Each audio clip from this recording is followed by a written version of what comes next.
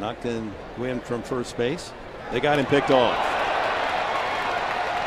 Guzman runs him and tags him. So Richard with a little extra time and Gwynn committed.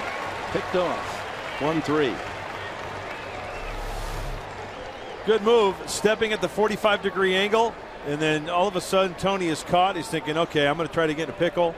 And a great execution. Richard going to the bag where he threw it to, right? He's going to back up if needed. Nicely done. Guzman, fake throw, just charge right at him. Ball in the glove, and that, that's a good idea too. Ball